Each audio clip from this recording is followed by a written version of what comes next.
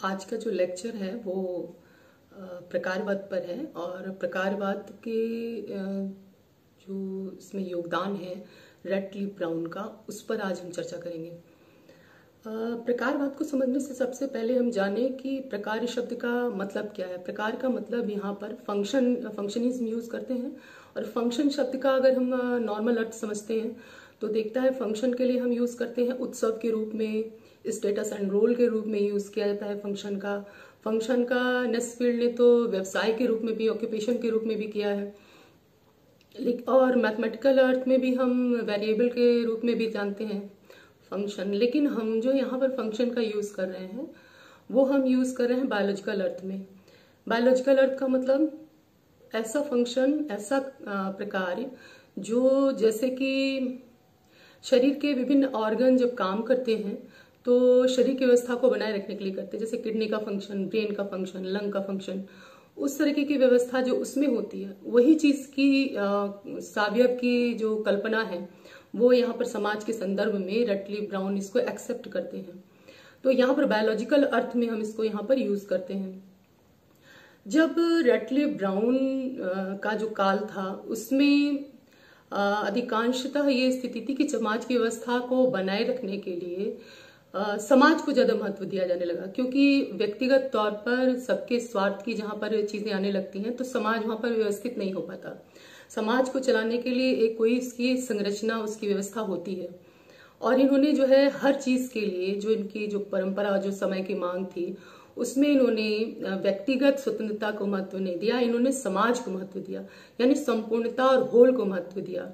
अब इसकी कल्पना जब कह रहे हैं तो इनका पहला तो इनके पॉइंट ये है कि ये मानते हैं कि जो प्रकार है, इसमें कोई भी जो सामाजिक व्यवस्था है, उसमें प्रकार्यात्मक एकता पाई जाती है।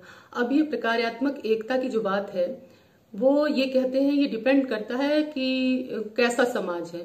प्रकार्यात्मक एकता का जो यहाँ मतलब है, वो ये है कि एक तरीके से एक आदर्श स्थिति भी, क्योंकि जो प्रकारात्मक एकता की ये बात करते हैं यूनिटी की बात करते हैं, वो सब समाजों में समान नहीं मिलती।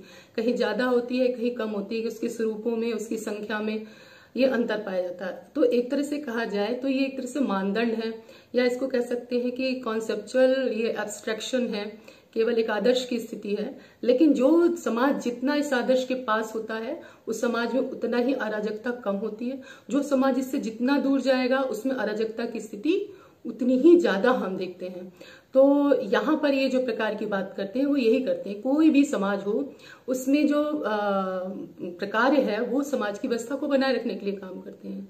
अब ये समाज की व्यवस्था जो बनाए रखने के लिए काम हो रहा है उसमें ये इनका कहना है कि कहीं संघर्ष नहीं पाया जाता। इसीलिए आदर्श की बात करें ना, ये संघर्ष नहीं पाया जाता। अब संघर्ष नहीं पाया जाता, इसमें केवल सामंजस्य की स्थिति होती है। और ये एक तरीके से हमारे लिए जब अनुसंधान हम करते हैं, कोई भी रिसर्च करते हैं, उसके लिए थोड़ा सा आसान हो जाता है ये चीज़ करना। तो अच्छा अब एक चीज़ और उठता है प्रश्न की कार्य और प्रकार में अर्थ क्या क्या अंतर है? आप देखिएगा, जो कार्य जो होता है, वो किसी समाज की व्यवस्था को बनाए रखने के लिए भी हो सकता है और समाज की व्यवस्था को खराब करने के लिए भी हो सकता है।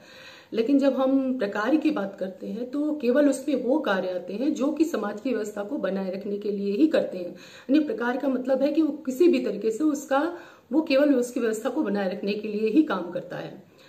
उसके लिए कोई भी निगेशन कोई भी निगेटिव चीज़ इसमें नहीं आती। क्यों? क्योंकि वो समाज द्वारा एक क्योंकि इसमें समाज को महत्व देते हैं होल को महत्व देते हैं। अच्छा दूसरी चीज़ इनकी एक और आती है वो ये है वो ये कहते हैं कि जो अंग हैं वो जो है वो आ, काम करते हैं समष्टि के लिए टोटलिटी के लिए। पार्ट काम करते हैं टोटलिटी के लिए शरीर काम करता है शारीरिक व्यवस्था के लिए। और समाज के अगर हम शरीर की तुलना अगर हम करें आ, पूरे समाज की तो शरीर के विभिन्न प्रकार के जो ऑर्गन्स हैं, वो काम करते हैं समाज शरीर की व्यवस्था को बनाए रखने के लिए। और समाज की जो व्यवस्था है, वो है राजनीतिक व्यवस्था, आर्थिक व्यवस्था, परिवार या इस तरीके की जो संस्थाएँ हैं, वो सारी वो सारी काम करती हैं, वो समष्टि के लिए होल के लिए, यानी पूरे समाज के लिए। तो जो भी कार्य होगा व्यष्टि का, यानी एक पोर्शन का या अंश का, वो काम होगा आपका टोटलिटी के लिए। उसके अलावा उसका और कोई अस्तित्व नहीं है। वो जो जो भी काम करेगा, केवल वो समाज की व्यवस्था को बनाए रखने के लिए ही करेगा। अब ये बात ये आती है कि जो समाज की व्यवस्था के लिए काम करता है, वो काम हमेशा ऐसा होना चाहिए जो कि उचित भी हो और जो कि आवश्यक भी हो। उचित का मतलब यहाँ पर यह है कि जो पर्यावरण के अनुकूल भी हो, ऐसी कोई चीज़ ना हो जो आज तो हमारे लिए यूजफुल है। लेकिन आने वाले समय में जब हम उसको कभी देखें या समझें, उस परिणाम को देखें तो लगा कि वो हमारे लिए यूजफुल नहीं था। तो वो चीज़ कभी भी प्रकारी नहीं हो सकती। जैसे अगर हम बात करें कि खाद्यान्न के संदर्भ में जब हरित क्रांति आई तो इतना ज़्यादा उत्पादन हुआ कि हमारी जो आवश्यकताएँ थी वो पूरी हुई देश की, और बाहर भी उसका जो है निर्यात किया गया। लेकिन उस एक समय विशेष में कुछ दशकों तक तो ठीक है। उसके बाद स्थिति क्या आई? उसके बाद स्थिति ये आई कि हमें समझ में आया कि हमारी जो भूमि है, वो बंजर हो चुकी है। और उर्वरा शक्ति खत्म होने के साथ साथ जो भूमिगत जल है, वो भी प्रदूषित हो गया है। और वहाँ पर जब बंजर भूमि हो गई तो वहाँ कुछ संभव नहीं था। और आप अब देख रहे होंगे हम पुनः किसकी तरफ़ जा रहे हैं? जैविक खेती की तरफ़ जा रहे हैं। तो वो जो समय था उसमें जो चीज़ हुई, वो एक समय विशेष में ठीक थी, लेकिन आने वाले जनरेशन को हम क्या देखे गए?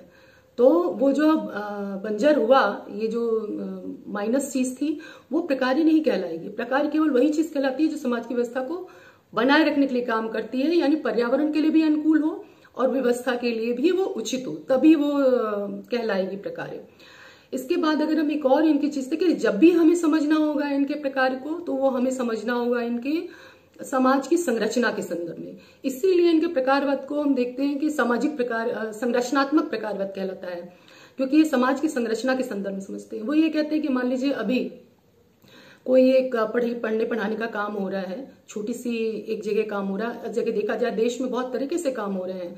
तो जो भी काम है, वो एक छोटे से लेकर बड़े तक एक बड़े सूत्र में बंधे होते हैं और उनका उद्देश्य एक होता है। उसमें केंद्राभिमुखता होती है, केंद्र होता है कन्वर्जेंस होती है कोई।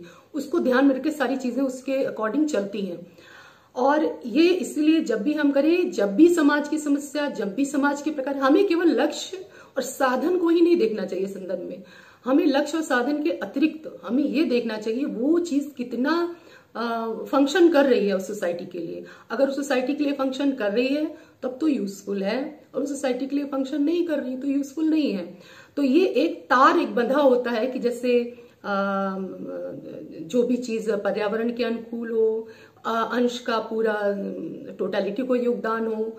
और यहाँ पर एक चीज़ और आती है कि जब आप इनके प्रकारवाद को देखें तो ये समझ में आता है कि अंश का टोटालिटी पर तो ये फोकस कर रहे हैं।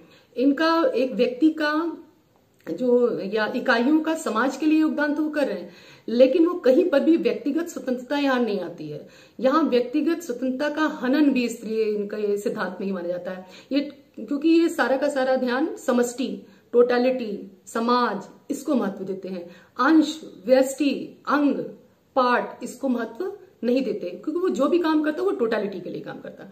अब इसी के साथ अगर हम मेलिनोवस्की को देखें तो आपको समझ में आएँगे कि मेलिनोवस्की जो है, इन्होंने ये जो व्यक्तिगत स्वतंत्रता का जहाँ हनन की बात कर रहे हैं, उसको वो आगे लेके आती इसकी जो ये कमी है, उसको आगे लेके आते हैं।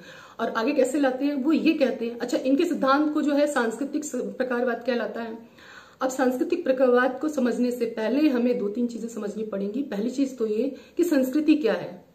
जब हम संस्कृति को समझेंगे, तभी इनके सिद्धांत को बेहतर तरीके से हम समझ पाएँगे। संस्कृति क्या है? संस्कृति वो है जो प्राकृतिक पर्यावरण के अतिरिक्त जिस चीज़ का भी निर्माण मनुष्य ने किया है, वो सारी की सारी चीज़ संस्कृति के अंतर्गत आती है। और इस आधार पर संस्कृति दो प्रकार की हो जाती है। एक होती भौतिक, एक होती अभौतिक। भौतिक संस्कृति क्या? जिससे आप देख सकते हैं, छू सकते हैं। जैसे बर्तन, कपड़ा, बिल्डिंग, उपकरण इत्यादि। दूसरी चीज़ वो होती है जिसे हम केवल महसूस करते हैं, जैसे धर्म, नैतिकता, कानून, रूढ़ियाँ, परंपराएँ इत्यादि। अब जब हम यहाँ पर बात करते हैं सांस्कृतिक प्रकारवाद की तो इनका ये कहना है कि संस्कृति के प्रत्येक तत्व एक दूसरे के साथ जुड़े होते हैं। और वो इसमें इसमें इतना सामंजस्य होता है कि अगर किसी एक में हम बदलाव करें तो उसका असर किसी दूसरी चीज़ पे भी पड़ता है। अगर भौतिक संस्कृति में बदलाव करेंगे तो भौतिक संस्कृति पड़ेगा, और भौतिक संस्कृति में करेंगे तो अभौतिक संस्कृति में पड़ेगा, और भौतिक में करेंगे तो अभौतिक में भौतिक में भी पड़ेगा, और अभौतिक का करेंगे तो अभौतिक में भी। तो ये सारा एक दूसरे से इकाइयाँ एक दूसरे से संबंधित है और इसके लिए कुछ और इसके कंपोनेंट है उसको भी समझना पड़ेगा। जैसे हम कहते हैं कि कल्चर ट्रेट यानी सांस्कृतिक तत्व संस्कृति कॉम्प्लेक्स यानी संकुल या अगर हम प्रतिमान की बात करते हैं ये सब बनते कैसे हैं? ये बनते इसीलिए हैं क्योंकि ये एक दूसरे के साथ व्यवस्थित तरीके से बने होते हैं। इनकी डिज़ाइन जो होती है वो इस तरीके से लगी होती है। एक, एक समाज में जो एक एक खास तरीके की जो संस्कृति है, जिसका हम अध्ययन कर रहे हैं, अगर हम जिस भी कल्चर का भी हम अध्ययन करते हैं तो वहाँ की संस्कृति एक अलग ढंग के ढांचे में बनी होती है। उसको आप इस तरह समझ लीजिए कि जैसे ईट, गारा, सीमेंट सभी के पास होता है, लेकिन सबके मकान अलग बनते हैं। सरी वही परिवार है, वही विवाह है, वही राजनीतिक व्यवस्था है, सांस्कृतिक व्यवस्था लेकिन उसका जो रूप होता है, हर जगह अलग अलग होता है, क्योंकि उसकी आवश्यकता के अनुसार, जैसे भौगोलिक आवश्यकता होगी, वैसे हमारी संस्कृति बदलती है। और ये चीज़ इन्होंने इस यहाँ पर बहुत अच्छे से समझाने का प्रयास किया है कि जैसे भौगोलिक पर्यावरण है, जैसी आवश्यकता है, वैसे ही कल्चर होता है, आप जानते हैं। अब इसमें ये क्या है? कि अगर प्रत्येक इकाइयाँ एक दूसरे संबंधित हैं, एक में बदलाव दूसरे में हो रहा है तो संस्कृति बहुत महत्वपूर्ण हो गई। संस्कृति इकाई बहुत, और इसमें एक क्या है कि संस्कृति का जो ये, इनका प्रकारवाद है, वो ये कहता है कि अगर हम किसी एक अंश में बदलाव करते हैं, यानी व्यस्टि जो है, वो समष्टि के लिए भी काम करता है व्यस्टि जो है, वो खुद के लिए भी काम करता है। यानी पार्ट जो है, वो टोटलिटी या होल के लिए भी काम कर रहा है पार्ट जो वो खुद के लिए भी कर रहा है। जैसे अगर हम कहें ऑर्गन के, अगर हम कंपेयर करते हैं तो हम ये देखते हैं कि अगर जो शरीर का जो किडनी है हार्ट है, ये काम करे शरीर की व्यवस्था को बनाए रखने के लिए साथ साथ ये क्या करे खुद की व्यवस्था को बनाए रखने के लिए भी काम कर रही है। अगर शैक्षणिक व्यवस्था, समाज की व्यवस्था को बनाए रखने के लिए कर रही है, आर्थिक व्यवस्था, अगर समाज की व्यवस्था को बनाए रखने के लिए काम कर रही है तो वो खुद के लिए जो काम कर वो खुद की व्यवस्था के लिए भी होता है। किडनी अगर काम करता है तो खुद की व्यवस्था के लिए भी करता है। तो यानी पार्ट जो काम कर रहा है होल के लिए, एक अंश जो काम कर रहा है संपूर्णता के लिए व्यस्टि जो काम कर रहा है समष्टि के लिए, वो समष्टि के लिए तो काम कर ही रहा है। वो खुद के लिए भी काम कर रहा है, जो पार्ट है वो खुद के लिए भी कर रहा है। तो ये इसलिए इनका यहाँ मत ये आता है कि अगर व्यक्ति जो काम, जो वो कर रहा है टोटलिटी के लिए, वो उसके लिए भी काम कर रहा है। यहाँ पर इन्होंने जो व्यक्तिगत लिबर्टी की जो चीज़ें थी, उसको पुनः वापस किया है। और इन्होंने कहा कि संस्कृति का प्रत्येक तत्व जब मनुष्य के लिए उपयोगी होगा, जो वही जीवित रहेगा। जो उपयोगी नहीं है, वो जीवित नहीं रहेगा। और वो ये कह ये संस्कृति की मान्यता ही है। और इसमें इन्होंने इसको इसको ये स्वीकार किया कि मनुष्य की जो सात मौलिक आवश्यकताएँ हैं, इन सात मौलिक आवश्यकताओं को अगर कोई संस्कृति का तत्व कॉम्प्लेक्स या जो भी हम बात करते हैं, जो भी कंपोनेंट है, वो अगर पूरा करते हैं, तभी उसका महत्व है। अगर वो पूरा नहीं करते तो उसकी कोई उपयोगिता नहीं रहती, वो अपने आप समाप्त हो जाता है।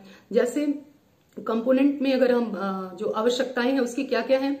भोजन, प्रजनन, शारीरिक सुरक्षा, सुख, गति, वृद्धि और स्वास्थ्य, इन्हीं सात चीज़ों पे ही हर चीज़ डिपेंड करती है। अगर संस्कृति का प्रत्येक तत्व अगर इसकी आवश्यकता की पूर्ति करता है, चाहे वो भौतिक हो, चाहे अभौतिक हो, तभी वो जीवित रहेगा। अगर वो नहीं करता, वो समाज के लिए उपयोगी नहीं है तो वो अपने आप चली जाएगी। वो कभी ठहरेगी ही नहीं। अच्छा इन्होंने ये भी कहा है कि अगर हम किसी क्षेत्र को जानना चाहते, समझना चाहते हैं रियल चीज़ को जानना चाहते हैं तो हम दूर से बैठ के ऑब्जर्वेशन करें, उससे बेहतर है कि हम उस क्षेत्र में जाके काम करें। और जब हम जाके काम करते हैं तो उसमें इन्होंने कहा है, आप जानते हैं ऑब्जर्वेशन की कई विधियाँ हैं। उसमें आप पार्टिसिपेट कर भी करके भी बन सकते हैं, कभी उसमें अपनी पहचान छुपा के और कभी पहचान बता के। तो सहभागी अवलोकन का जो महत्व है इसमें बहुत ज़्यादा है। इसमें जो है सहभागी अवलोकन और तुलनात्मक रूप से जब हम कंपेयर करके जब स्टडी करते हैं तब रियल चीज़ को हम जान पाते हैं। समाज की जो संरचना है उसको जान पाते हैं। अगर हम किसी एक क्षेत्र विशेष में जाएँ और हम आ, अगर हम दूर से बैठ के किसी को अगर देखें कहीं अरे यहाँ तो बहुपति विवाह है ये तो बड़ी खराब व्यवस्था है या बहुपत्नी विवाह है किस जिस भी ट्राइब्स में है। क्योंकि ये दोनों की चाहे रेटली ब्राउन हो और चाहे मेलोनोवस्की हो दोनों के दोनों समाजशास्त्री कम मानव शास्त्री ज़्यादा है एंथ्रोपोलॉजिस्ट ज़्यादा है, और इन्होंने अधिकतर ट्राइब्स पे काम किया है तो इसीलिए ये है। इन्होंने ट्रोबियांडा जनजाति पे काम किया, और जो ऑस्ट्रेलिया की और अफ्रीका की जनजातियों पे काम किया काम किया है रटली ब्राउन ने। तो मेलिनोवस्की यही कहते हैं कि अगर हमें दूर से बैठ के हम किसी चीज़ को तो हम नहीं समझ पाएँगे। जब हम वहाँ पर उसके पार्ट बन जाते हैं, तब हमको उसको रियल समस्या समझ में आती है। और ये जो इनकी टेक्निक है, वो किसी भी समस्या के वास्तविक निष्कर्ष के लिए बड़ी इंपॉर्टेंट है। अगर अगर आप जाएँ किसी जेलों का अध्ययन करने के लिए, आप अगर जाते हैं, जेल में जाएँ और आप किसी से इंटरव्यू लेके चले आए कि कैदियों से या वहाँ के जेलर से तो रियल चीज़ आपको कभी समझ में नहीं आएगी। लेकिन आप एक अपराध छोटा मोटा करिए, जैसे कि अध्ययन हमारे मानुशास्त्रियों ने किया है। और अपनी पहचान छुपा के आप गए, वहाँ पर एक खुद आप एक कैदी बन जाए। और कैदी बनने के बाद अब अगर आप रियल सिचुएशन देखेंगे कि कैदियों की क्या स्थिति है जेलर की क्या स्थिति है? वहाँ पर क्या भ्रष्टाचार है और क्या पॉजिटिव चीज़ है? तो इसका रियल जो चीज़ है, वो अंदर निकल के तब आता है कि जब हम उसके अवलोकन जब हम करते हैं ऑब्जर्वेशन जो करते हैं, हम उसके पार्ट बन जाते हैं। कभी पहचान छुपा के, अगर आपकी रेस एक ही है तब तो आप पहचान छुपा सकते हो। लेकिन अगर आपकी प्रजाति ही अलग है तो आप शारीरिक भिन्नता की वजह से आप उसको नहीं कर सकते। तब आप ऑब्जर्वेशन केवल कैसे करेंगे? अपनी पहचान को बता के करेंगे। तो ये जो चीज़ें हैं, वो इसके आधार पर हम इतना कह सकते हैं कि मेलेनोवस्की अपने आप को एंथ्रोपोलॉजिस्ट कहलाना पसंद करते हैं, क्योंकि संस्कृति के संदर्भ में हर चीज़ को बताते हैं, व्यक्तिगत चीज़ों को ये वापस करते हैं, इसलिए इनका जो समाज, जो प्रकारवाद है, वो व्यक्तिगत प्रकारवाद भी है, व्यक्तिक प्रकारवाद कहलाता है, और इनका प्रकारवाद है वो सांस्कृतिक प्रकारवाद है, क्योंकि संस्कृति के संदर्भ में अपने प्रकार को समझाते हैं, जबकि रेटली ब्राउन अपने जो प्रकार को समझाते हैं, वो समाज की संरचना के संदर्भ में समझाते हैं। इसलिए उनका जो प्रकारवाद होगा, वो संरचनात्मक प्रकारवाद होगा। यहाँ पर जो है, मौलिक आवश्यकताओं की बात जहाँ मैरिनोवस्की करते हैं, वहाँ रेटली ब्राउन ने मालिनो ये आपके इस अधिकारों की या आपकी स्वतंत्रता की कोई बात है ही नहीं। वहाँ की आवश्यकता, मनुष्य की आवश्यकता को कोई महत्व ही नहीं रह गया वहाँ पर। तो ये सारी मेन मेन इसकी मुख्य भिन्नताएँ हैं। और अगले टॉपिक में हम जो आगे आपके मर्टन वगैरह हैं, उसको हम कंप्लीट करने की कोशिश करेंगे। Thank you